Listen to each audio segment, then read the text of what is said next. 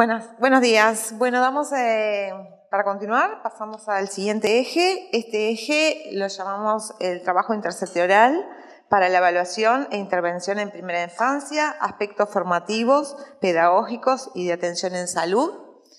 Y para ello invitamos en primer lugar a la directora de la Unidad de Análisis e Intervención de la UNAI, de la Dirección de Derechos Humanos del CODICEN, maestra y psicóloga y magíster Carolina Ponazo, que va a ser nuestra primera ponente.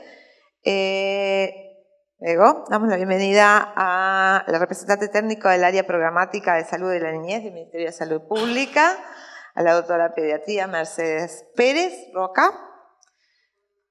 En tercer lugar, invitamos a la Inspectora Nacional de Educación Inicial del CEIP, eh, maestra Celeste Cruz, bienvenida.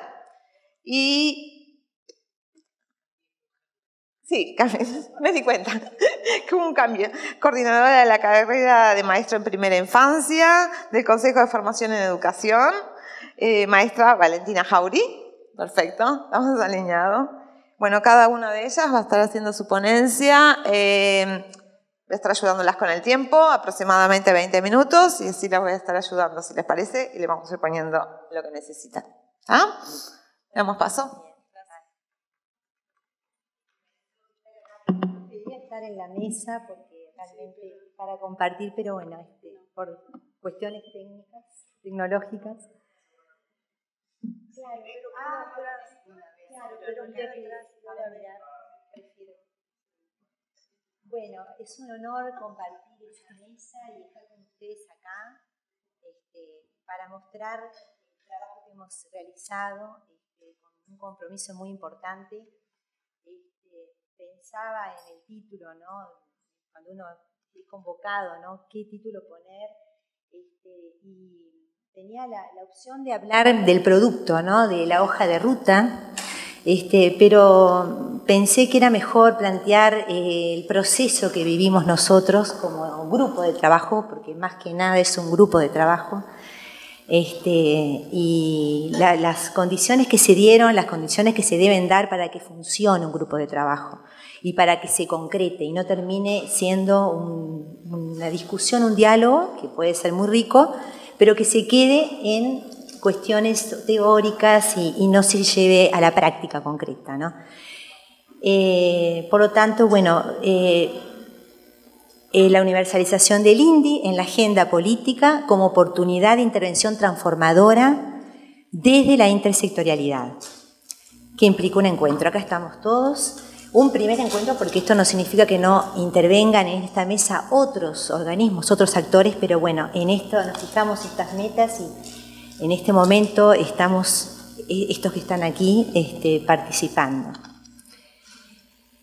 Primero que nada, hablar de la importancia de la educación inicial en el Uruguay, que es sinónimo de innovación y prestigio, pionero en políticas públicas nuestro Uruguay focalizadas en la educación inicial, marcando desde su fundación un espíritu tecnopolítico. Hoy hablaba Chavira también de la parte este, política, este, en el sentido amplio nos referimos, y la parte académica, lo técnico, político, innovador.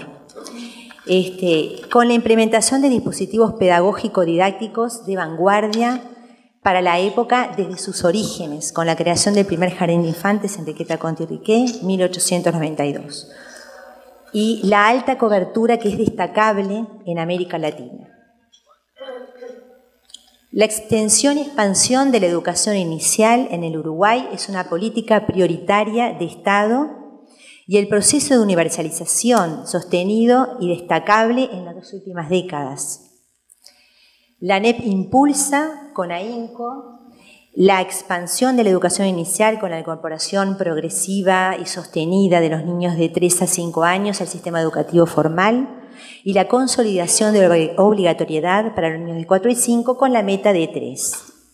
Esto marca un contexto que genera nuevas demandas, nuevas realidades a atender y condiciones este, para instrumentar políticas que deberían y tienen que ser innovadoras. Y en este marco estamos, ¿no? en, el tema de, de la oportunidad que nos brinda esta herramienta de evaluación para generar e instrumentar políticas innovadoras.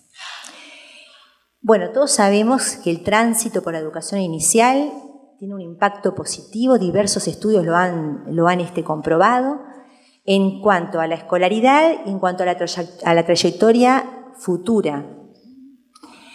La brecha de inicio de la escolarización, como ya lo planteaban antes, implica condiciones desiguales de acceso y la transición de ciclos también este, conlleva para muchos niños, y también acá englobo también a las niñas, este, eh, a brechas también de inequidad en los aprendizajes.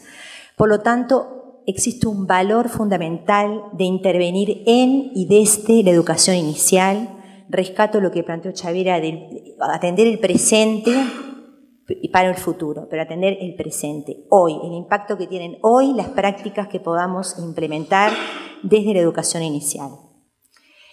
Eh, tiene mayor impacto transformador, como ya dijimos, este, dada la plasticidad del cerebro en esta etapa, eh, hablando desde otro paradigma al momento donde se produce la subjetividad y se estructura la personalidad, este, lo que implica esa etapa, este, dejando huellas futuras, ahí sí, este presente, y el impacto emocional que hay que tomar en cuenta en los aprendizajes. Por lo tanto, todo lo que tiene que ver con, el valor de la educación en los proyectos de vida, las expectativas que políticamente y todos los, ciudadanos hablaban hoy, ¿no?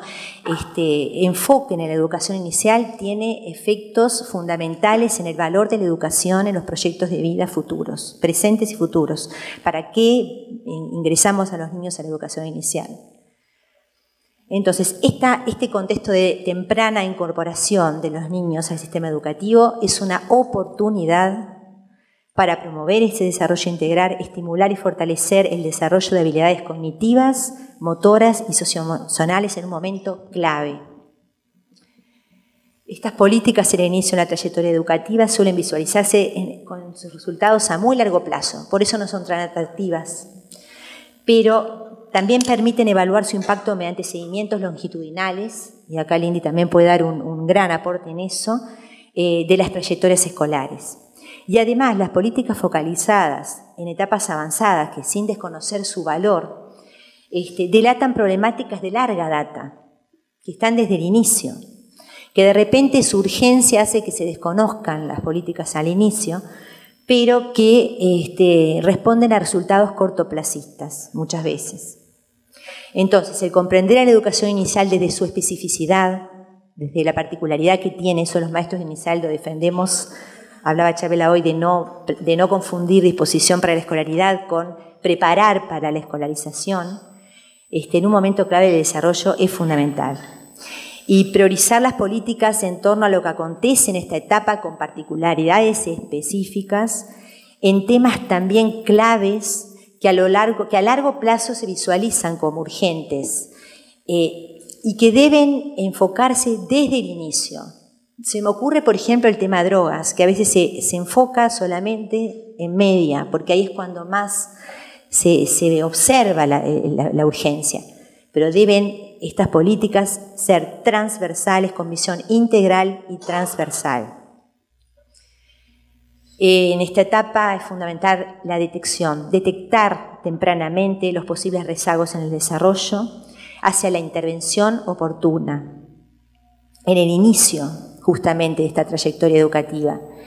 Las políticas en educación inicial son, por, tanto, sinónimo de promoción y prevención, adelantarnos a los problemas, este, con valor predictivo, este, sin determinismo, de lo que sucederá de no mediar una estimulación y una atención oportuna. Nos preguntamos qué puede pasar si nosotros no intervenimos, ¿verdad? Sin embargo, a veces en la agenda política no aparece. Eh, es por tanto importante este, priorizar en la agenda política desde el inicio de la trayectoria escolar temáticas que tienen que ver con la inclusión y la calidad educativa. Hoy también Chabela hablaba de, esa tensión que se genera cuando hay una, un aumento cuantitativo de la población que ingresa a las aulas. Aparecen nuevas demandas y nuevas tensiones.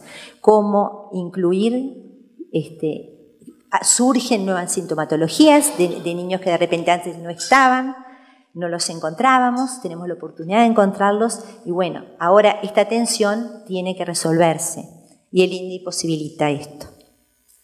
Como herramienta de evaluación estandarizada, de detección y alerta temprana, justamente la posibilidad de visualizar las fortalezas este, y las debilidades, estos indicadores, este, partiendo justamente también de estas fortalezas, de la situación individual, grupal, este, y más allá, poder georreferenciar para poder optimizar los recursos que se implementan este, ante los indicadores de posible riesgo. Este, las intervenciones oportunas de dimensiones pedagógicas interdisciplinarias, este, complementa la observación este, que realiza el maestro, no lo sustituye, también eso es una cuestión que tenemos que tener bien claro, que son este, digamos, situaciones complementarias, no sustituye lo, que el maestro hace y sabe conoce y observa de ese niño, de ese grupo, de esa, de esa situación este, hasta comunitaria, digamos, muchas veces. Y es un aporte también el INDI para implementar políticas a nivel nacional, generando acuerdos intersectoriales con coherencia de criterios bajo un marco común de rigurosidad científica, que eso es la gran oportunidad que tenemos del encuentro. ¿no? La política educativa, nos dice Bentancur, aunque tiene características propias, constituye en sí misma una política pública. Y en ese sentido existe entonces la, la necesidad de unirlas, de generar una transversalidad y una intersectorialidad, porque la política educativa y la política pública son, van de la mano. Eso requiere entonces de trabajar de forma interdisciplinaria e intersectorial con otros organismos, estar en, una misma ruta, hablando de, hoja de ruta. ¿no? Eh, la UNAI, que es la Unidad de Análisis e Intervención dependiente del CODICEN, este, fue encomendada por resolución del CODICEN este, a coordinar un grupo de trabajo intersectorial este, bueno, donde se marcaron los objetivos este, generales específicos, que es tan importante marcar hacia dónde apuntamos con este, con este grupo, este, que comienza a funcionar en junio del 2018. Leo muy poco desde acá. Este, y bueno, y la idea era poder lograr un acuerdo intersectorial, en un principio eh, sector educación, sector salud, para la atención prioritaria a los niños detectados con riesgo más elevado, los que necesitan realmente, o sea, no solamente que el maestro los atienda de forma este, individualizada, teniendo su diversidad, sino que requieren del apoyo de otros, este, otras disciplinas y de otros organismos, una atención prioritaria en salud. Este, esto es un hito, estamos en un momento histórico que establece un hito, porque este, no es que no, eh, no, haya habido antes experiencias, todo el tiempo el maestro articula, pero que sea de forma sistematizada, con un apoyo este, científico y que permita justamente tener una legitimación de lo que muchas veces el maestro ve y una novedad de lo que a veces no ve es fundamental y que esto se concretice en una de las problemáticas que, encontramos que después las vamos a, trabajar, que nos impulsó a, formar esta hoja de ruta y este acuerdo, este, es fundamental, es un, hito. Este, y si lo logramos, estamos este, marcando, quizás no solucionando de a poco, eh, de, de, golpe las cosas, pero sí de a poco. Este, bueno, este, justamente generando una cultura de la coordinación, no de la derivación, que muchas veces yo siempre digo, dejan eh, entramos en el circuito y en el círculo vicioso esta vez de la, de, la deriva de la derivación, donde el niño pasa de un lado del otro, donde las responsabilidades no se comparten, donde quedan experiencias sí aisladas de esto, pero no de forma sistematizada y mancomunada. Este, así que se pueda instalar una cultura de la coordinación sistematizada y ordenada a fin de optimizar la atención en esta población es fundamental. Bueno, este grupo de trabajo intersectorial, educación, salud, salud, eh, academia, establece un diálogo que instala coherencia y posibilita atender a tiempo las dificultades este, detectadas a partir del diagnóstico del perfil de desarrollo de los niños de nivel inicial Este, y bueno, y me quiero un poco hablar, enfocar en, lo que es la, planificación estratégica situacional que contempla la participación de los diferentes actores involucrados en, las políticas y la convergencia de acuerdos desde el interjuego de los distintos intereses y de lo técnico político. Este grupo está conformado bueno, por la UNAI, este, integrante del Consejo Directivo Central, eh, eh, el equipo creador del INDI, eh, de la Facultad de Psicología, la División de Investigación y Estadística Educativa, este, la Inspección Nacional de Educación Inicial y el Ministerio de Salud Pública. Y ahora aparecen también el interjuego de otros este, organismos que ya vamos pues, a, a plantear por qué. ¿no? Los actores educativos y no educativos son formadores de agenda. Por eso es importante que todos, hoy hablaban de ciudadanía involucrada, Yamila también lo retomaba, como que, tienen que tenemos que estar todos formando parte de, esta agenda en educación inicial como prioritario, como tema priorizado por sobre otros. Eso es formar, agenda donde eh, haya acuerdo de, todos, este, el, interés converja, ¿no?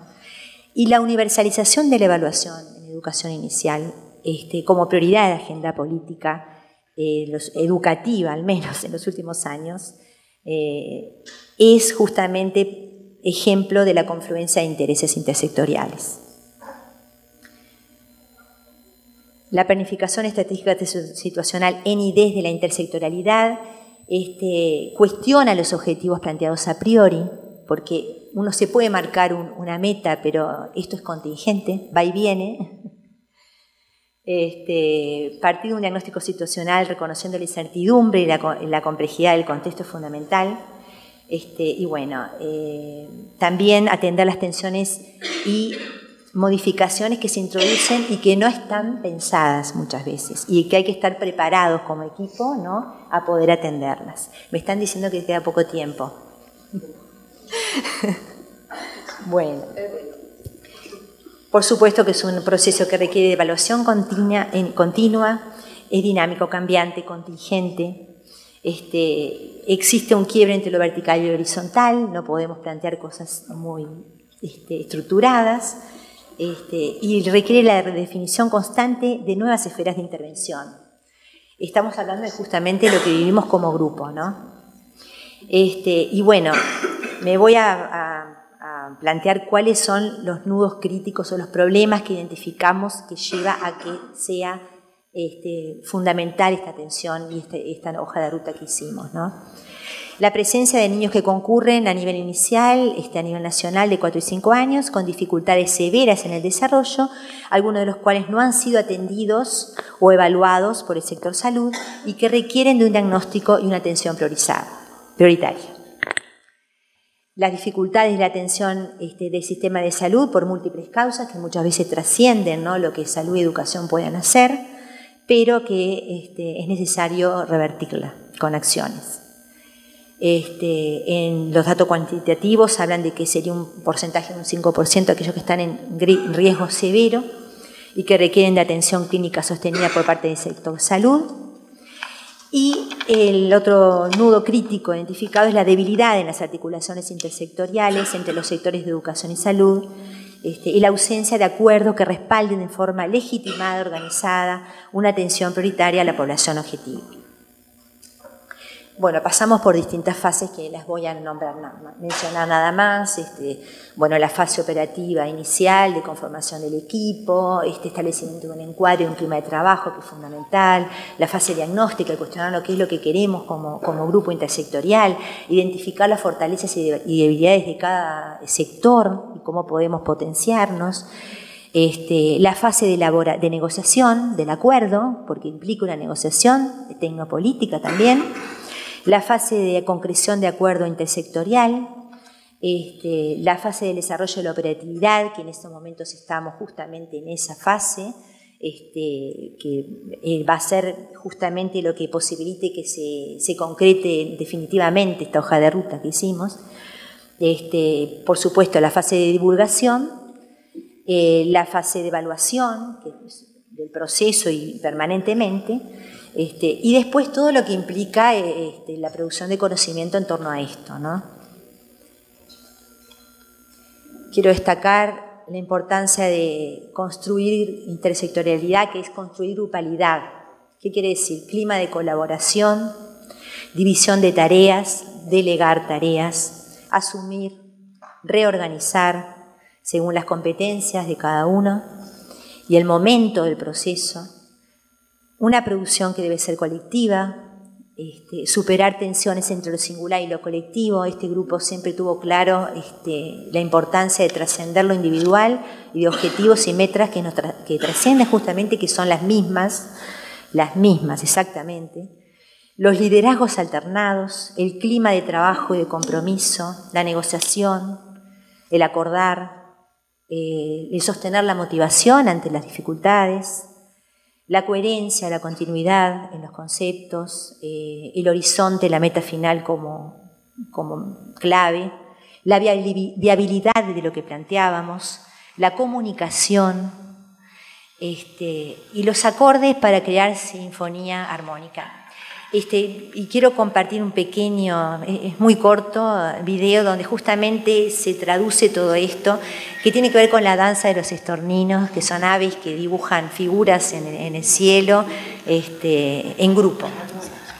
A ver si podemos hacerlo funcionar. Sí. A ver si podemos hacerlo funcionar, porque es muy interesante ver cómo a veces la naturaleza marca y expresa lo que queremos simbolizar como grupo. ¿No aparece? Ah, está Bueno, eh, los conmino a que pongan Danza de los Estorninos. Hay muchísimos videos. De los, estorninos. Estorninos. Sí, son aves que se mueven en conjunto, que a veces se separan y se vuelven a unir, que se ve claramente los distintos liderazgos, como van por un lado, después viene otro por otro, y ellos van formando juntos este, eh, las formas, digamos. Bueno, como proceso no lineal, ya termino, y no, no predecible, este, requiere reformulación de objetivos permanentemente, constante revisión de la implementación, este, y quiero mostrarle este, la importancia también de las condiciones políticas y de gobernabilidad de todo esto es fundamental. Este, sin el apoyo de, Chabela este, en, muchas de, las, de las fuerzas que puso en las decisiones, este, esto no, no sale como grupo aislado. Y, este, y el análisis del posicionamiento de los actores al momento de la ejecución propiamente dicha, que también hay que tomar en cuenta. Y acá está, eh, Mercedes después lo va a explicar, eh, el producto, nuestra, la, producción este, final, que es el acuerdo, salud, educación, y la hoja de ruta, eh, el flujograma, digamos, porque está mucho más pormenorizado lo, que, digamos, lo, que, lo que allí este, está representado en el flujograma, de cómo este, se, se, va a instrumentar este, este acuerdo ¿no? de atención prioritaria a partir de la detección del índice, este, pone en juego todo esto que está acá y que Mercedes lo va a explicar este, mejor. Bueno, muchísimas gracias.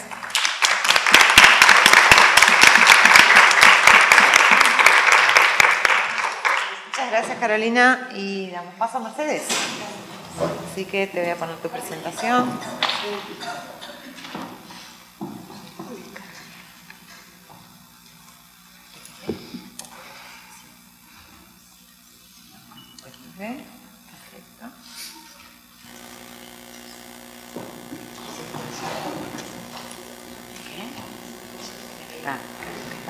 Buenos días, este, mi nombre es Mercedes Pérez Roca, yo soy pediatra, soy referente técnico del área programática de salud de la niñez del Ministerio de Salud, tengo formación en neurodesarrollo y en salud pública.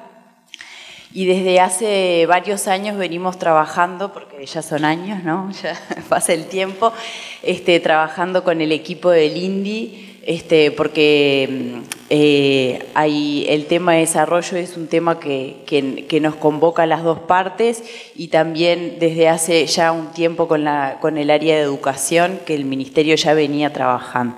Entonces yo hoy un poco les voy a mostrar Primero, qué es lo que estamos trabajando desde el Ministerio de Salud Pública, como para contextualizar este, el trabajo que estamos haciendo en conjunto y, luego voy a compartir un poco más de lo que tiene que ver del trabajo intersectorial este, y específicamente la hoja de ruta con, con el INDI. Entonces, el trabajo del Ministerio de Salud en lo que tiene que ver con este, con la parte de desarrollo se enmarca en lo que se llamaron los Objetivos Sanitarios Nacionales, que fue este, el marco teórico con el cual se trabajó en este periodo de gobierno en el cual la definición de los objetivos sanitarios nacionales implica delinear una política pública en salud en orden de definir prioridades, facilitar la movilización de recursos financieros previsibles y sostenibles y prever los recursos humanos y técnicos necesarios. Entonces, en este marco, se definieron 15 problemas críticos priorizados, dentro de los cuales se encuentran las alteraciones del desarrollo en la primera infancia y dentro de lo que es el objetivo sanitario número 3, el objetivo estratégico de, dentro de los objetivos sanitarios, el número 3, que es mejorar el acceso y la atención de salud en el curso de vida, este, se encuentra la temática del desarrollo en la primera infancia y bueno, dentro de los objetivos planteados fue la disminución de la prevalencia de alteraciones del desarrollo en niños de 0 a 5 años. Así que este, con este objetivo se fueron planificando estrategias para poder lograr este objetivo. Básicamente las estrategias que, se elaboraron desde el Ministerio tienen que ver, en primer lugar, con el poder identificar los niños que puedan tener algún problema en el desarrollo y luego cómo se va a hacer el abordaje. ¿no? Entonces, en la identificación, este, específicamente en recién nacidos, se trabajó para elaborar una lista de factores de riesgo para alteraciones del desarrollo en recién nacidos. En eso hicimos un trabajo de, este, de revisión bibliográfica sobre cuáles eran los factores de riesgo que más impacto tenían en el desarrollo. Ustedes saben que hay un montón de factores de riesgo que influyen, pero la bibliografía con el correr de los años este, ha cambiado, ¿no? Se ha sacado un poco el foco en todo lo que tiene que ver con los factores de riesgo biológico, este, si bien son importantes como la prematurez, el bajo peso al nacer y, este, y el pequeño para gestacional como factores de riesgo biológico más importantes, pero todo lo que tiene que ver con lo ambiental y el estrés tóxico al que están muchas veces sometidos los niños desde, digamos, lo prenatal incluso, este, han sido los factores de riesgo que ahora eh, más este, sean, eh, son los más relevantes, ¿no? Entonces, se hizo toda una búsqueda bibliográfica, después se hicieron varias instancias grupales e individuales con referentes en el tema de desarrollo, no solo del área de la salud, sino también con la gente de, educación y este, lo que tiene que ver con la parte de facultad de psicología también. Y bueno, y se definieron cuáles eran los factores de riesgo. Luego se trabajó con las instituciones con los prestadores de salud, los prestadores integrales de salud, los públicos y los privados, para que fueran dentro de, las, este, dentro de los elementos que siempre se consideran cuando derivar un niño y cuando no, se tuvieran en cuenta. Esto no significaba que había que derivarlos, sino todo lo contrario, sino que había que tenerlos en cuenta para que cuando se hiciera su primera consulta, pediátrica, el pediatra este, pudiera considerar estos factores de riesgo y estar un poco atento a todo eso. En, segundo lugar, después hay niños que no nacen con factores de riesgo, pero sí que a lo largo de sus, primeros años de vida eh, van adquiriendo algunos riesgos o van apareciendo algunas alteraciones a lo largo de su desarrollo. Y para esto trabajamos con la Guía Nacional de Vigilancia de Desarrollo, que es una guía que se elaboró en el, en el año 2010 y que en el 2014 se le hicimos muchas modificaciones para transformarla más en un instrumento de screening que fuera algo más objetivo. Entonces este, le hicimos varios, eh, varios cambios y ahora está en proceso de, impresión, ya está en imprenta, así que este, está por salir la nueva guía. Este, se hizo la validación del instrumento, que ahora después les, voy a mostrar un poco eso, bien breve, y eh, luego en lo que tiene que ver con el abordaje de lo que estamos trabajando en el Ministerio, es este, el año pasado se empezó un trabajo de, para poder regular las prestaciones este, que precisan los niños que tienen algún problema del desarrollo. Como ustedes saben, el tema de las prestaciones y los, o sea, los tratamientos que se brindan es todo un tema, ¿no? que siempre nos preocupa a todos. Es bastante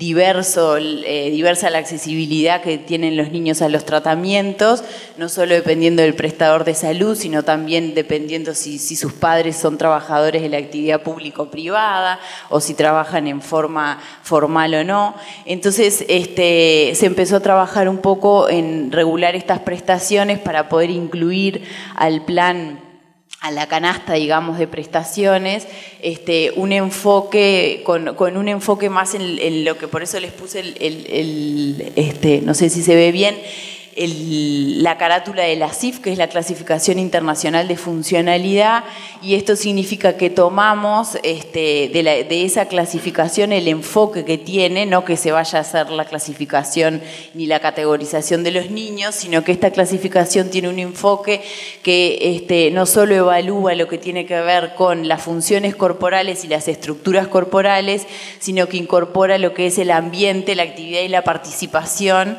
como parte de las evaluaciones que uno tiene que tener para después decidir qué prestación le va a dar ese niño. ¿no? Entonces amplíe un poco más este, la mirada y este, no solo va eh, pensado hacia lo biológico, la dificultad específica que tenga el niño, sino evaluar las funciones que tiene y ahí también se evalúan fortalezas y debilidades del niño para poder después pensar en qué prestación uno le va a brindar en el área de la salud. Y luego el trabajo intersectorial, que es este, todo el trabajo que estamos haciendo con educación y con la gente de Facultad de Psicología, que también es lo que más voy a ampliar. Eh, esta es la etapa de la guía. Em, no sé si les gusta, a mí me pareció muy sencilla, pero me gustó. Este, los dominios de, de, evaluación de la guía siguen siendo los mismos, motor, coordinación, lenguaje y social. Y esta guía que se validó, que fue un trabajo que nos llevó cuatro años, desde empezar a modificar el instrumento hasta después todo lo que fue el trabajo de campo que, este, que nos dio mucho trabajo. Este, esta guía tiene una sensibilidad del 77% con una especificidad del 65% y, y bueno, y nos pareció que esto es algo bien importante que quienes aplican los instrumentos conozcan la sensibilidad, la especificidad, las limitaciones que tiene el instrumento, este, y entonces en base a eso es lo que va a salir la publicación de la guía, donde van a ver algunos aspectos este, que, bueno, no solo es aplicar la guía de vigilancia, sino también mirar otras cosas, hacer una buena entrevista enfocada al desarrollo, al ambiente, este, hacer un buen examen físico, ¿no? O sea, los instrumentos tienen que acompañarse de otras cosas este, también, y eso es parte de la guía también. Nosotros en el Ministerio sacamos como ordenanza este, este año que la aplicación de la guía de vigilancia y desarrollo va a ser nuestro instrumento de screening este, en el área de la salud y que todos los prestadores de salud que integran el Sistema Nacional Integrado de Salud tienen que utilizar este instrumento. La, la aplicación es obligatoria para los niños de 4 meses, 18 meses y 4 años y el reporte de resultados al Ministerio, que es algo que tenemos que mejorar ese reporte porque los datos que, que vienen de ahí no están siendo este, muy útiles, digamos, para poder eh, mirar el desarrollo de los niños y es uno de los desafíos que tenemos, este, que bueno, no, no se ha podido concretar todavía, pero hacia eso vamos a ir. Este, y luego el trabajo intersectorial, este, desde el Ministerio participamos en el Consejo Coordinador de la Educación en la Primera Infancia. El CCEPI es un espacio que es para nosotros muy valioso porque es donde estamos todos los actores que estamos vinculados a la primera infancia y ahí se comparte mucho qué está haciendo uno y qué está haciendo el otro. Ustedes saben, nosotros en este país tenemos una dificultad que es este, que todos queremos hacer un montón de cosas, entonces a veces terminamos haciendo todos a la vez lo mismo. Entonces ese espacio del Consejo de Coordinación es, este, es un espacio donde uno puede ver qué es lo que está haciendo el otro y poder sumarse o al trabajo del otro quizás que lo, lidere una de las, de las instituciones del Estado y el otro apoya, pero no pisarnos el palito y estar haciendo todos lo mismo y gastando dinero en las mismas cosas. Entonces, para nosotros es un espacio bien importante. Luego tenemos este, con, con, el equipo del INDI el proyecto de estudio empírico de la validez convergente entre la guía de vigilancia del desarrollo y el inventario. Este es un proyecto que está este, para ser aprobado por, por CECIC, o sea que si hay alguien acá que de CECIC que, este, que nos eche una manito, digamos. Este, este es, eh, es un proyecto que es bien importante porque lo que pretende hacer es comparar los resultados de un instrumento y otro. Los dos son de uso universal y entonces uno en el ámbito de la salud y el otro en el ámbito de la educación, no nos puede pasar de aplicar un instrumento en salud que después vaya al aula, se le aplique otro instrumento y le diga, ay, le dio bárbaro y el otro le dio horrible. O sea, tiene que haber un diálogo entre los instrumentos. Los instrumentos no tienen que ser los mismos porque tienen objetivos diferentes. La IA mide una cosa, el INDI mide otra, pero los dos se aplican a los mismos niños y tienen que tener como un, un mismo, ir hacia un mismo lado. Entonces, para nosotros con Maite es bien importante que este proyecto se pueda consolidar porque la información, además que uno le da a los padres, no puede ser divergente, porque si no los vamos a volver locos. Entonces, este eso eh, es bien importante este proyecto. Y después, bueno, el grupo de coordinación y articulación interinstitucional, que es el que integramos todos, este, los que estamos, eh, los que están ahí, que un poco fue lo que Carolina ya mostró, que también este, es una mesa que es este, muy de negociación también, por lo menos para mí que soy la única que no soy de educación, entonces después tengo que llevar las cosas al ministerio y poder este, trabajar juntos y consolidar cosas. Este, este grupo de coordinación tiene como propósito contar con un diagnóstico temprano del perfil del desarrollo de los niños en nivel inicial efectos de realizar intervenciones, o sea, poder planificar este, qué es lo que va a pasar con los niños luego de que uno aplique el instrumento. Esto que dijeron las otras personas que estuvieron exponiendo es este, como poco ético pensar en que uno va a aplicar un instrumento y que después no pueda dar respuesta de acuerdo al resultado del instrumento. Entonces eso tenemos que coordinarlo. Este, profundizar en la articulación de, estas este, instituciones del Estado eh, que, están participando y que están trabajando para la primera infancia y complementar la universalización del INDI en los niveles 4 y 5 con coordinaciones intersectoriales e interinstitucionales que posibiliten atender a estos niños que tengan algunas dificultades. Acá donde dice UPIDE es UNAI, este, aclaro porque me retaron más de una vez porque el esquema no lo pude cambiar, entonces, este, bien. Después de la hoja de ruta, esta hoja de ruta que se elaboró en este grupo de trabajo fue un protocolo de actuación para garantizar la intervención y el seguimiento de la población que asiste a la educación inicial y que presentaba estas características. ¿no? Los niños que por algún motivo no pudieron ser evaluados con el INDI, a veces las maestras detectan que el niño tiene algunas dificultades, entonces no puede aplicar el instrumento. Este, después niños que, de acuerdo con los resultados del INDI, presentan la coocurrencia de riesgos en algunas de las áreas del desarrollo y ahí va a haber dos grupos, unos que sí asistan en forma regular en el ámbito de la salud, que incluso estén en proceso diagnóstico, que incluso ya estén en tratamiento y el INDI detecte esto, pero después van a haber algunos niños que sabemos que son los menos, pero que sí este, están, que son niños que en salud no, no ha sido detectada esta dificultad en el desarrollo. ¿está? Este, ustedes saben que nos pasa eso, a los pediatras este, es todo un tema... Eh, el, que los maestros les envían muchos niños y que a veces el pediatra dice, bueno, no, ya va a hablar, todas esas cosas, este, que son problemas que tenemos y que estamos tratando de subsanarlos, eh, este, no solo desde el ministerio, sino también lo que tiene que ver con la academia, se ha trabajado mucho en, este, en formar a los pediatras en todo el desarrollo y bueno, y ahora vamos a empezar además con la capacitación de la guía para el personal de salud, o sea que vamos a enfatizar mucho en todos esos aspectos. De la hoja de ruta específicamente eh, van a haber dos grupos de niños. Los grupos de niños, no sé por qué se hay uno que se ve mal. Bueno, los grupos de niños que, no han sido evaluados por, ya sea, ahí están los niños que no han sido evaluados por inasistencias, que eso es un poco eh, de lo que se va a encargar la parte de educación, de poder indagar las causas de inasistencia, va a haber una apertura que, que ya hubo creo, ¿no? De periodo de especial para evaluar esos niños que porque inasistencia no, no pudieron ser evaluados.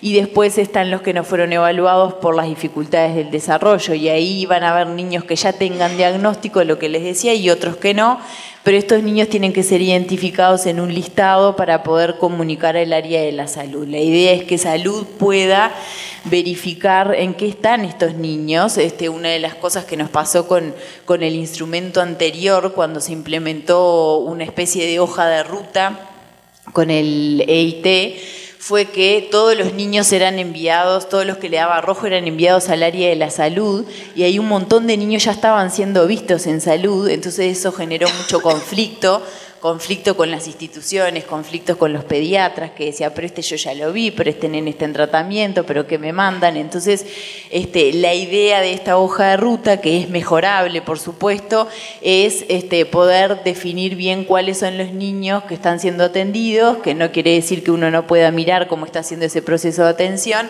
pero este, sí darle prioridad a los que no están siendo atendidos en salud este, que estos son eh, los niños, luego están, estos son los que no han sido evaluados y después esto que no se ve es este, los niños que tienen este, concurrencia de riesgos los que tienen determinado resultado del, inventario del desarrollo infantil, donde tienen más riesgos porque tienen este, alguna alteración importante en dos o más áreas de su del desarrollo, entonces son los niños que quedaron como grupo 1, que esos también van a ser conectados con el sector salud.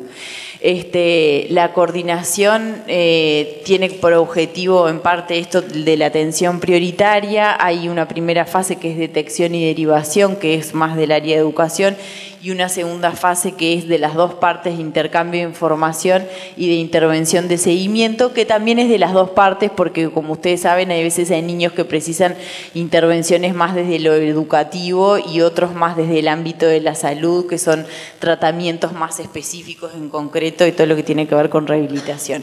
En este diálogo nosotros elaboramos la hoja de ruta este, y esa hoja de ruta, los detalles, este, están siendo ahora analizados por la unidad reguladora y de control de datos personales de la GESIC, porque es bien importante este, tener en cuenta que los datos eh, son datos sensibles ¿no? de los niños, este, no solo que están nominalizados, porque la idea es poder identificar los niños que tengan las dificultades, sino además que también se muestra este, un diagnóstico, ¿no? Eh, y como ustedes saben, eso, eh, eso es bien importante, además también ver cómo se va a hacer el traspaso de datos de un sector al otro y que también está marcado en la hoja de ruta cómo es la comunicación que tiene el sector educación y el sector salud con esa familia, ¿no? Explicarle bien en qué consiste esto y, que, bueno, esto es, eh, es algo que la idea es que contribuya a, este,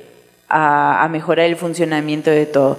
Este, la UNAI va a facilitar el, desarrollo de la fase 2 de la hoja de ruta, va a, favorecer las comunicaciones intersectoriales, efectos de promover la atención de los niños que están en el listado va a implementar acciones de seguimiento referidas al cumplimiento de esta hoja de ruta, dinamizando la comunicación y el intercambio entre las partes, y va a elaborar informes periódicos referidos al grado de avance en el cumplimiento de las acciones en los diferentes departamentos del país así como otros insumos. Este equipo, esta mesa va a seguir funcionando, elaboró la hoja de ruta, ahora la idea es monitorizar, ir viendo cómo se implementa e ir mejorando, porque siempre las cosas son este, mejorables, además muchas veces, si bien todos tenemos experiencia en, el campo mismo, en la cancha, este, a veces uno piensa las cosas más desde lo institucional en lo teórico y después hay que ver cómo uno lo baja a tierra y que sirvan.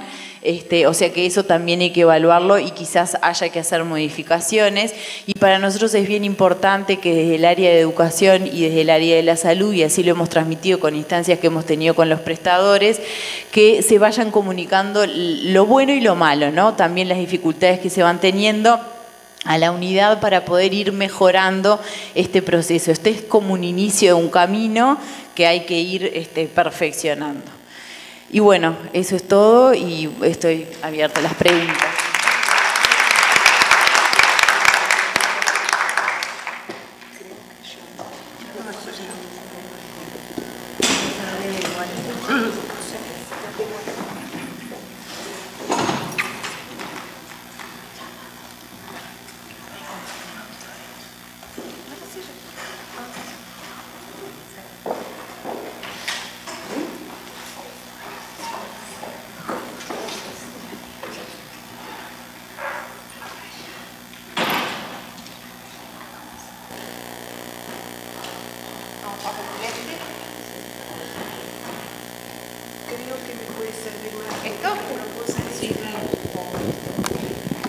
Hola. Sí, perfecto. Creo que puedo usar este porque no me ayuda mucho la altura para, para este, para este micrófono y voy a estar más cómoda así.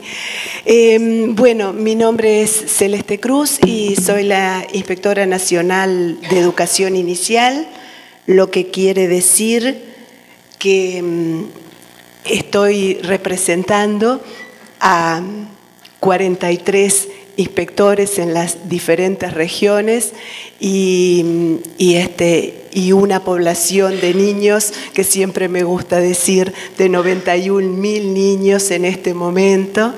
Este, 38 mil algo más de 5 años, 37 mil de 4 y ya estamos en casi 16 mil niños de 3 años. Todos esos niños son los que aspiramos a que por una cuestión de derechos puedan ser evaluados con INDI.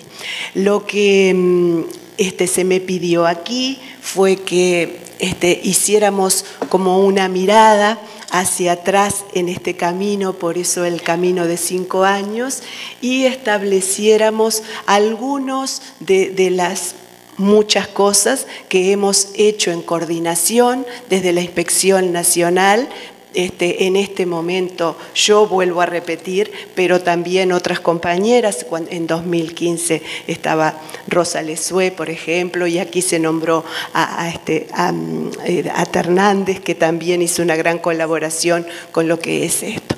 Em, y mirando un poquito hacia atrás, viéramos de dónde partíamos.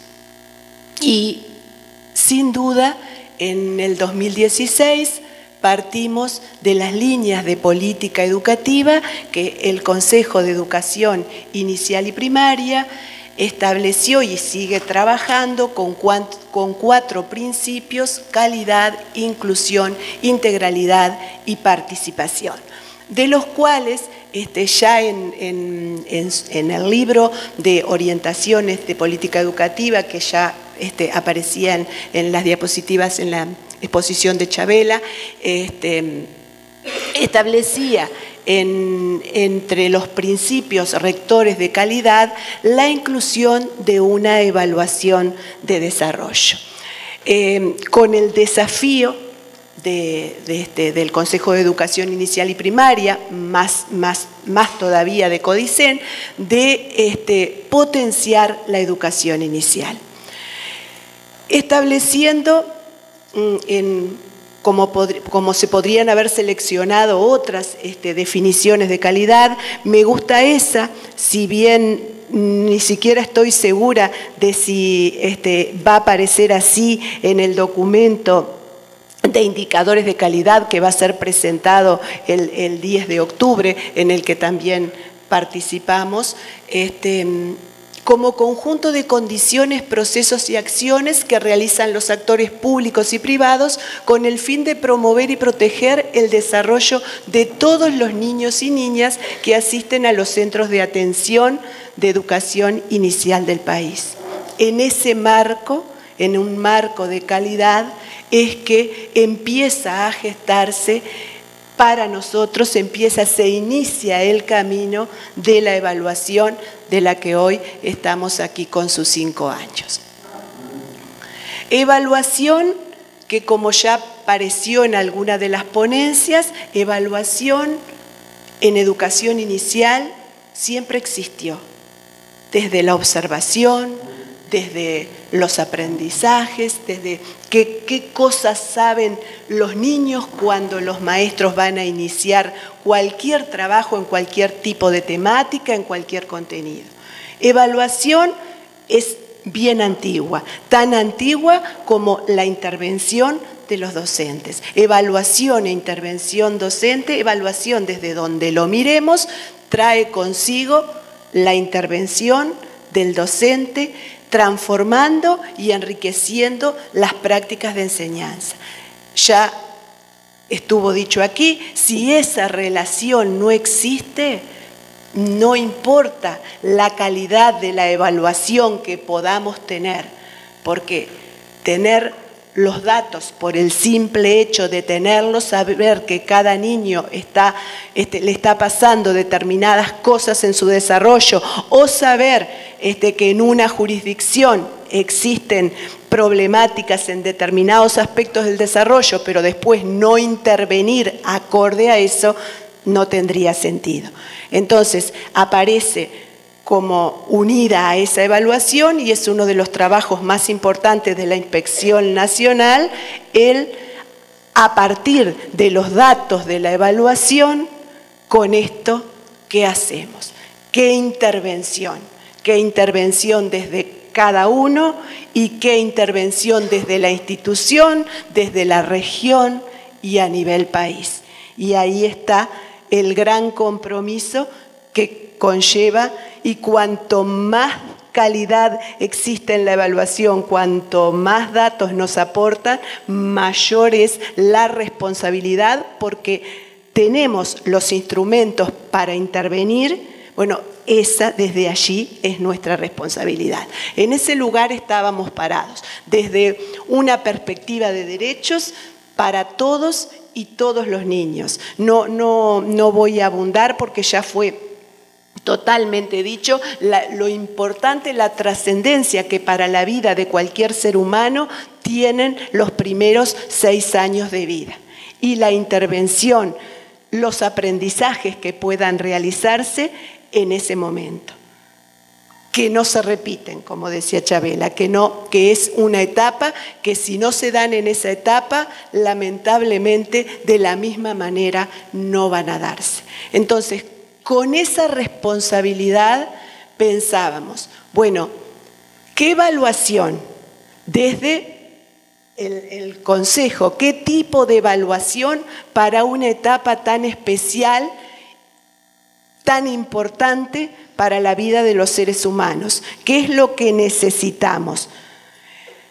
¿Necesitamos una única evaluación? Que es lo que tenemos hablado mucho con los docentes, no, seguramente no, seguramente hay otras en cuanto a los aprendizajes y demás que el docente hace y que INDI no excluye. Es decir, no tiene por qué ni proponemos que sea la única, pero sí eh, lo que, la importancia de tener una evaluación que fuera para todos los niños de la misma manera que diera resultados comparables entre ellos, qué tipo de evaluación.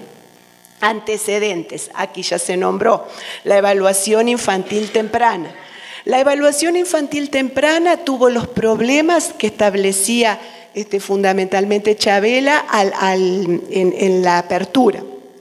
El problema de que este, al ser una evaluación de origen extranjero, tuvo algunos problemas para su aplicación, fundamentalmente en la zona, en Montevideo y en la zona metropolitana, porque hay que ser justos también diciendo que el interior del país aplicó la evaluación infantil temprana y llegó a universalizarse en 2017 y tuvo algo bien importante, ah, y esto es personal, pero a su vez también hablado en algunos de los acuerdos con las compañeras, este, donde obviamente las opiniones no son unánimes, tuvo algo bien importante que, es, que fue mostrar al magisterio que la aplicó que una evaluación de ese tipo era necesaria.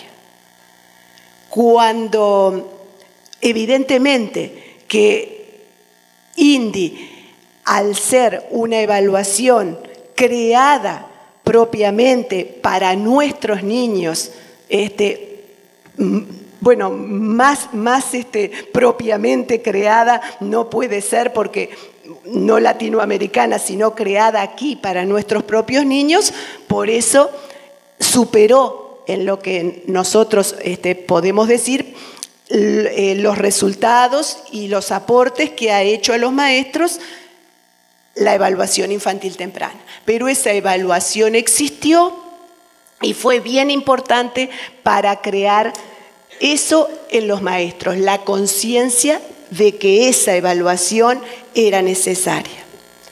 En este momento nosotros hemos superado ampliamente este, la aceptación de los maestros, quedan muy pocos centros con, todavía con algunas este, que tenemos que volver a conversar, a trabajar, porque el magisterio uruguayo eh, tiene una característica que es muy respetable muy respetable, este, que a veces resulta un poco incómoda para las autoridades, hablo como en este caso, que no aceptan lo que no les gusta, lo que no entienden, lo que no pueden explicar, lo que no les parece. Entonces lleva un tiempo de convencimiento, de mostrar, de ver, de ver que otros están aplicando, de ver los resultados y de entender que en este caso en particular, nosotros, si no, estaríamos vulnerando los derechos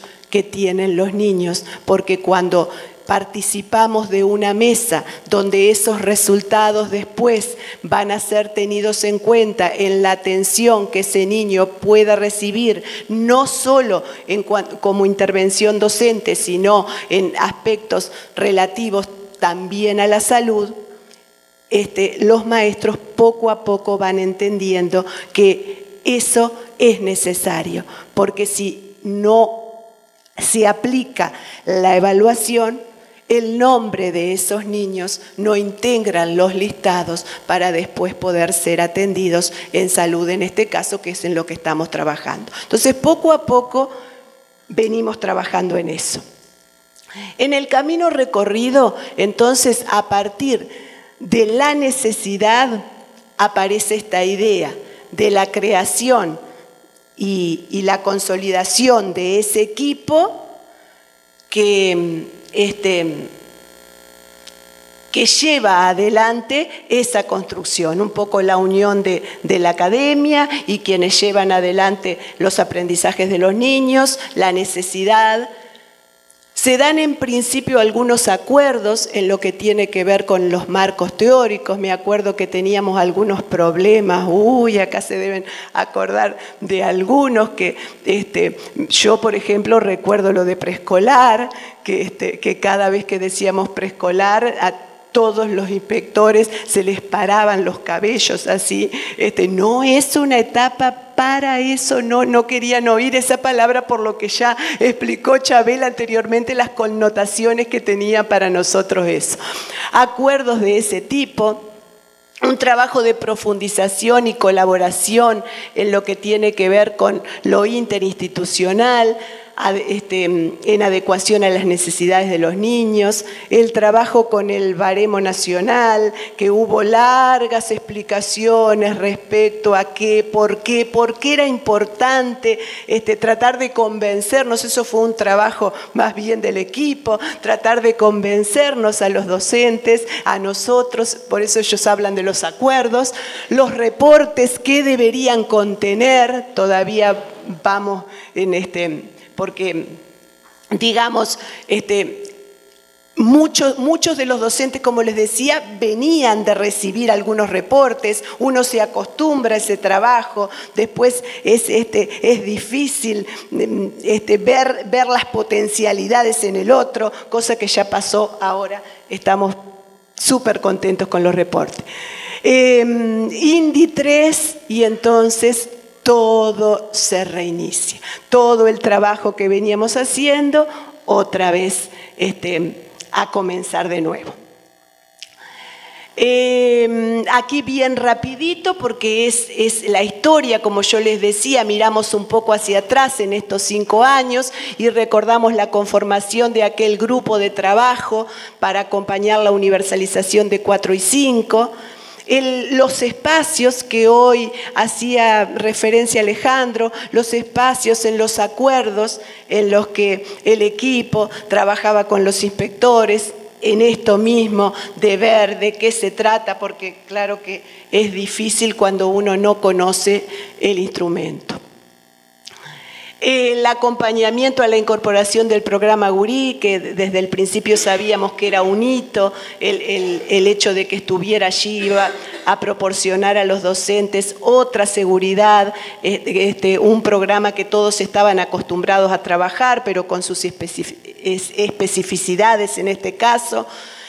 Eh, todo el trabajo de información a las distintas instituciones educativas, eh, el hecho de, coordinar, de, este, de este, esa información en cascada que a veces parece complejo, pero es un gran trabajo de, la Inspección Nacional, el, hecho de que la información llegue a todos y que fundamentalmente sea entendida por todos, porque en general, este, por más que las cosas nos parecen que están súper bien redactadas, cuando llegan al lugar recibimos consultas este, que no, y otra vez a la explicación.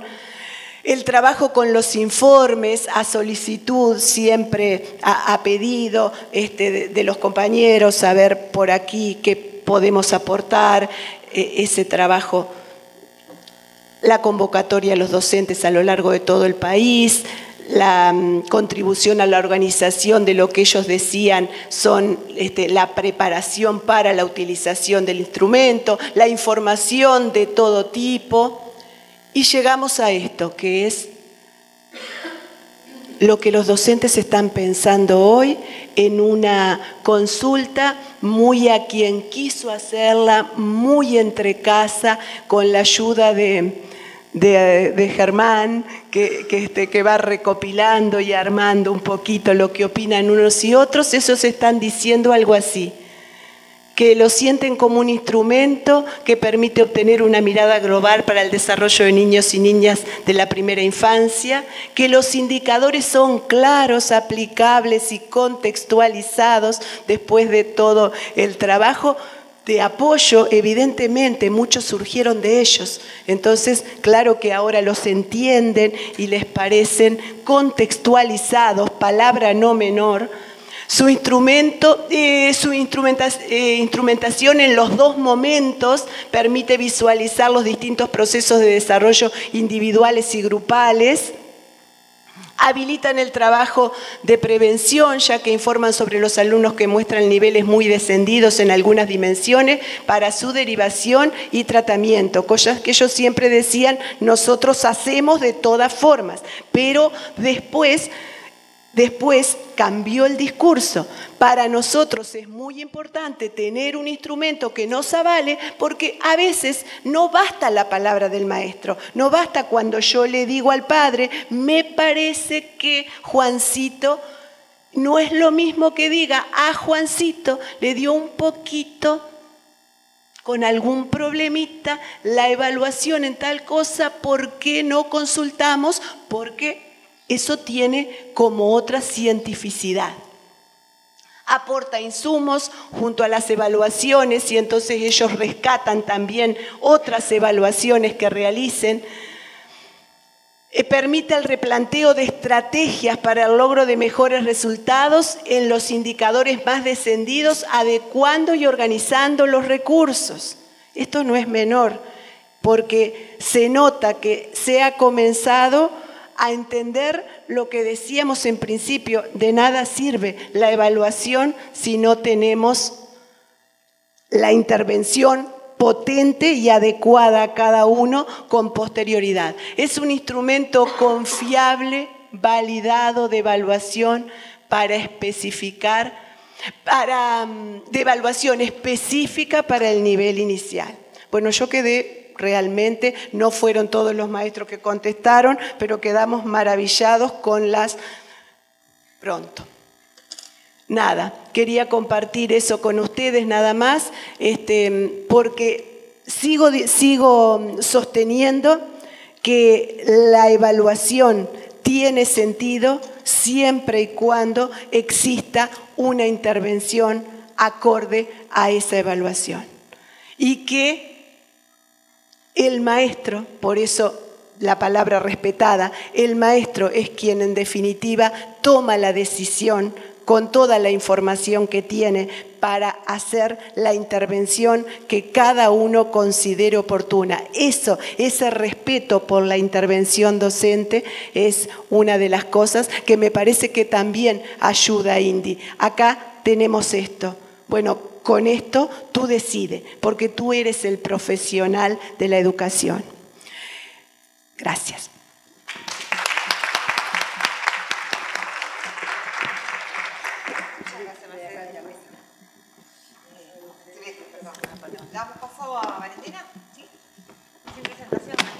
Es oral. Es oral. Es oral y breve. Hola. Eh, primero eh, iba a estar Germán, que es el articulador de prácticas de la carrera, porque yo estaba en viaje representando el consejo y no sabíamos bien los, tiempos. Cuando pensamos el nombre de la presentación, casi que, que para la- los puntos que, breves que vamos a tocar ahora, que tienen que ver con la vinculación de INDI en particular y en general, y en general de, la, de la UDELAR y de la Facultad de Psicología. Eh, no sé si porque he estado muchas horas en aeropuertos, pero se me ocurrió en tránsito, porque realmente estamos como en un proceso de tránsito, que tiene que ver con este proceso histórico, con algunas palabras claves que todos los ponentes eh, utilizaron que creo que los que estamos aquí ampliamente reconocemos y, es como a veces un reforzarnos entre nosotros. Eh, simplemente voy a hacer un par de menciones a, a una- a- a cómo, eh, cómo es el vínculo, cómo está haciendo el vínculo con la, con la facultad este, y el Consejo de Formación y Educación y en particular la carrera de maestro en primera infancia. El perfil de egreso de- del, del maestro de primera infancia define muy bien, y los objetivos también por el perfil, a un profesional de la educación con sólidos conocimientos pedagógicos, didácticos, eh, de la ciencia de la educación, específicos de la primera infancia, pero con, como un sujeto eh, situado, eh, referente y que sea capaz de su especificidad y de su saber docente o educador trabajar en diálogo en equipos multidisciplinarios porque no puede ser entendida la atención y la educación a la primera infancia desde otra perspectiva que no sea en un trabajo en equipo. ¿En equipo con quién? Con los otros educadores, claramente, con las familias de esos niños y niñas y con los otros técnicos y con la academia eh, en general. Entonces, no, eh, para nosotros, para quienes trabajamos en primera infancia, no se, puede, eh, no se entiende el trabajo educativo sin este abordaje eh, integral y, e interdisciplinario. Esto como punto de partida específico para el maestro de primera infancia que tiene su correlato con- con un fuerte trabajo que el Consejo de Formación y Educación está haciendo en todas las carreras, entendiendo esta visión universitaria que tiene estos tres componentes, ¿no? enseñanza, investigación y extensión. Para- desde el ámbito de, la- de formación y educación, esto ha sido un gran desafío y estamos haciendo pasitos a pasitos que después, cuando uno, hace un recorrido como el que vimos ahora de Indio o algunos este, que los compañeros hemos transitado en otros lados, dice, bueno, est- estas acciones concretas llevan a, resulta- a resultados después eh, grandes. Uno va diciendo, uy, qué, poquito que vamos avanzando, pero cuando mira los logros a la perspectiva, que no son tan lejanos en el tiempo, aunque a uno le parece mucho, este, son significativos. Entonces, eh, cuando desde este perfil de egreso del maestro de primera infancia y desde la estructura curricular que tiene la carrera, que establece este, trayectos curriculares flexibles, con optativas, con electivas, con actividad de extensión y actividad de investigación, era prioritario tener un diálogo especialmente y fundamentalmente con la UDELAR, este, no en esto de sí, sí, pero también lo otro, es decir, reconociendo la academia y todo lo que tenían para aportar, hoy lo decía en la mesa de apertura, ¿no? Esto que los investigadores, que, que, que- que las investigaciones que hacen esta gente tan potente puedan servir a, a- a los niños y las niñas y a quienes estamos en territorio. Esto es fundamental y en este diálogo que tiene que ver, ¿qué, no, qué nos puede dar la universidad, pero qué podemos darles también nosotros desde la formación docente? Se creó, este, bueno, empezamos a conversar con las mesas interinstitucionales que dieron su aval para que, en este caso en particular, pero extiendo a otras carreras de formación, los estudiantes de maestro de primera infancia pudieran transitar en otros espacios, entendiendo que la formación integral este, eh, eh, en otros ámbitos que no sean solo los institutos de formación, de por sí, más allá de los cursos, de las actividades de extensión y este, de los procesos de investigación que se hicieran, que claramente tienen que tener eh, una impronta con lo que hacemos nosotros, que son la educación en la primera infancia, pero de por sí aportaba al, estudiante encontrándose con otros docentes, con otros este, estudiantes y en otros espacios hasta físicos. Ya eso de por sí era formativo y era un desafío para nosotros a nivel organizativo y está siendo, no, es que recién se inició.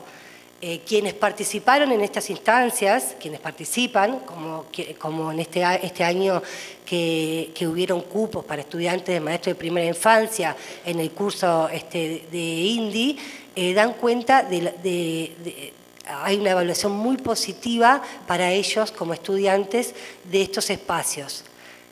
Inicialmente hubo muchas resistencias porque, claro, uno este, está estudiando en un lugar, el perfil de los estudiantes de maestro de primera infancia son amplia, no sé, 98% de, mujeres, muchas con, trabajadoras, muchas este, madres. Entonces, buscar, o sea, en, el discurso es muy lindo y muy, muy eh, deseable, pero luego en la implementación, poder ir a otros ámbitos de formación, con los horarios, etcétera, etcétera, se nos hace muy difícil. Sin embargo, ha habido, este, creo que estas resistencias se están venciendo y el impacto que tiene en ellas como futuros profesionales este, hace que, eh, que visualicen este, la trascendencia que tiene. Entonces, a partir de allí, de, lo que las mesas interinstitucionales dieron su aval a que esto empezara a suceder y que teníamos que empezar a conversar con los servicios, se creó una asociación de unidad, eh, eh, una asociación de unidad académica que permite esto de, complementar y enriquecer a partir de los aportes y de tránsito de estudiantes, docentes, eh, entre la, universidad, en particular la Facultad de Psicología. esta asociación fue con el Instituto de Desarrollo y Educación, con quienes somos este, bueno, no sé, primos hermanos, pero que fue como el punto de partida para otras instancias como estos cupos en otros, en otros cursos que la, que, la Facultad de Psicología tiene, que nos abrieron las puertas y también se empezó a generar que estudiantes de psicología comenzaron a transitar en algunos cursos que tiene la carrera de maestro de primera infancia. Además, tenemos, eh, tenemos trabajos de extensión, que ya creo que es la novena edición, este, que, es para los, familiares de funcionarios en un espacio de, atención y recreación. Entonces, también cambiando la mirada de este profesional de la educación, que también puede compartir espacios de educación no formal y, puede eh, eh, dar sus conocimientos en otros ámbitos que no sean solamente la tradicional aula en diálogo con otros estudiantes de psicología y ahora se integran también estudiantes de, educación física. Eh, entonces, todo esto hace, eh, da cuenta, yo creo que responde muy bien al perfil de, egreso del maestro de primera infancia.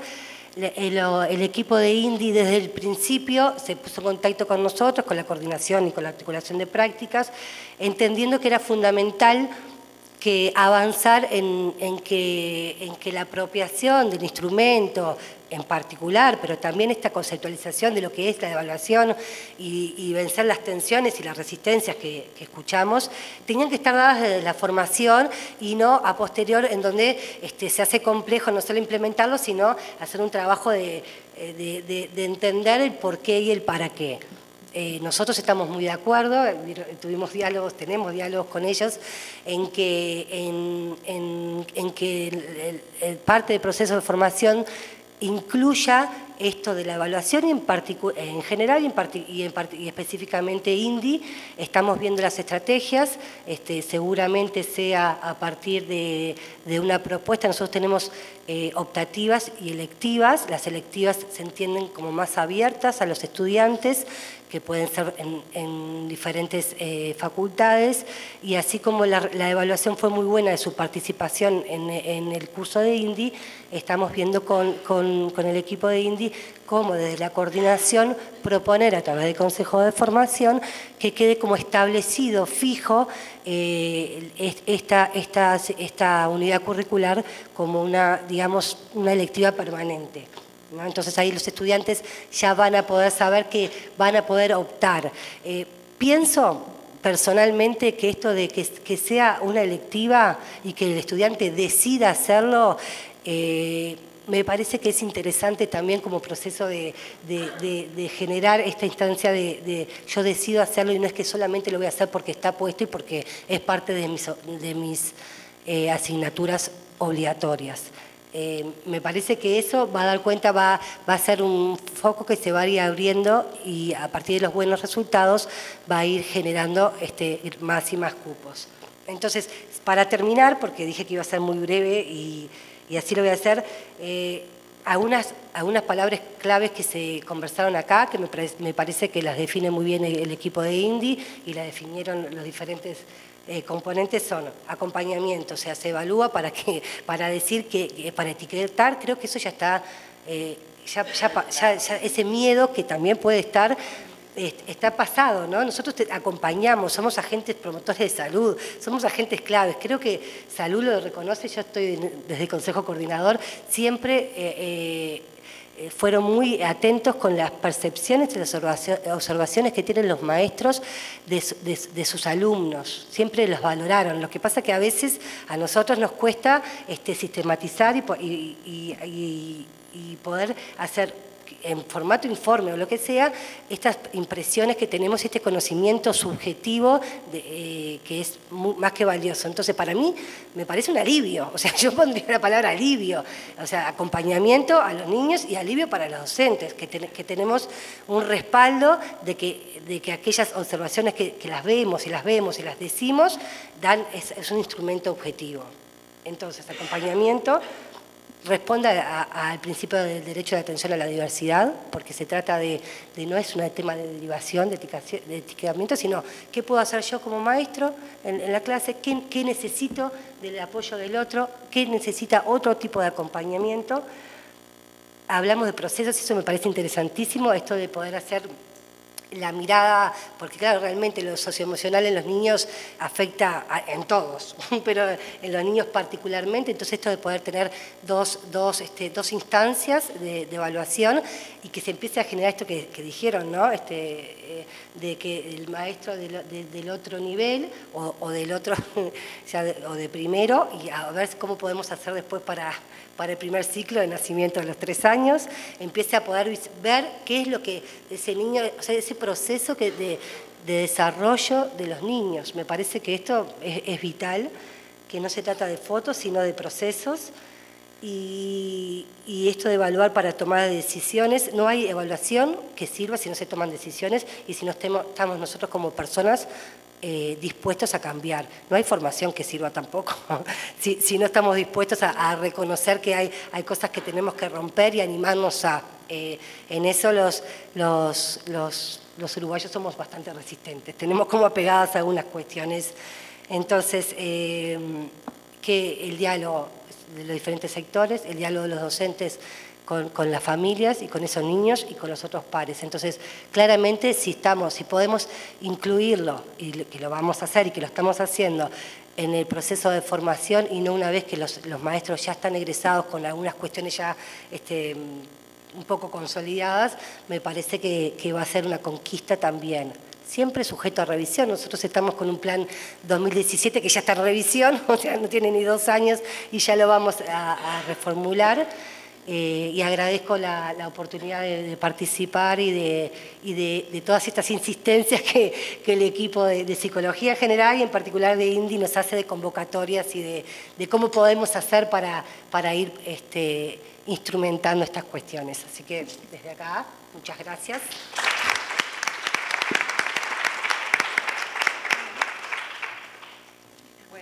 gracias a todas y no sé si hay alguna pregunta del público para ellas. Eh. Hay una pregunta.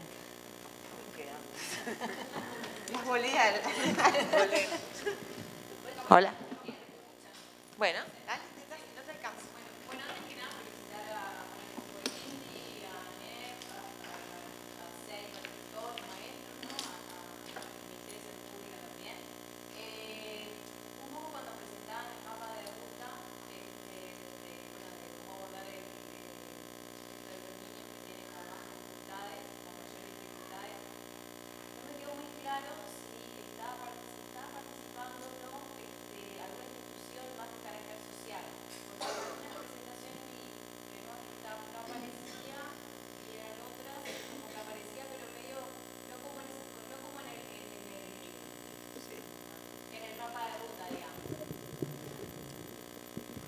Sí, este, por ahora no está participando, porque este, la necesidad que más este, surgía era con el tema de coordinar con salud.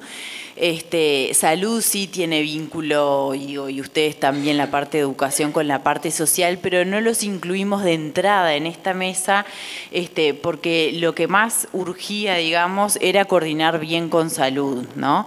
Este, y la idea es que a partir de la implementación de la hoja de ruta y que se empiece a aceitar un poco este mecanismo de intercambio de información, ir incluyendo otros actores para poder eh, compartir compartir información. Este, una de las cosas que, nos pasó es que nosotros elaboramos todo el protocolo de la hoja de ruta, lo teníamos divino, armado, todo con instructivo, este, y cuando, mm, a ver, lo presentamos a la unidad de protección de datos, nos dijeron que eh, habían cosas en el proceso que teníamos que cambiar la forma, por, un tema de protección de los datos este, de, los niños.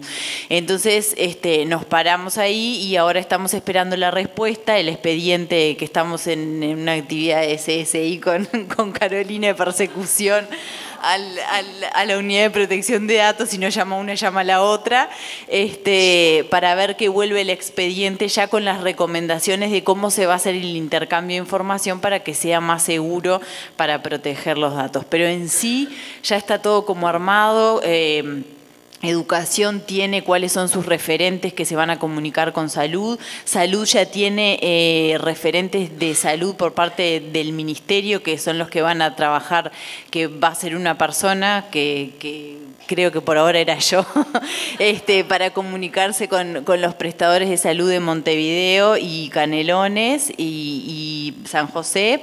Y después para el interior la comunicación va a ser con referente de los prestadores mismos y ya tenemos el nombre de cada uno de los referentes de cada uno de los prestadores. O sea que está todo como en stand-by, esperando un poco la respuesta de, la unidad de protección de datos para poder largar y empezar este, a, que empiece a funcionar como ese, eh, como ese motorcito, ¿no? ese mecanismo, y luego que esté un poco aceitado, que veamos qué cosas mejoraron o no, ahí vamos a incluir este, a, la gente del Ministerio de Desarrollo Social pero, pero bueno, lo que más surgiera era la parte de salud, que es lo que todo el mundo este, se queja y protesta y qué sé yo. O sea, en salud tenemos un montón de problemas que tenemos que resolver y estos niños hay que darles prioridad. Entonces, este, la idea era hacerlo como por, partes, digamos.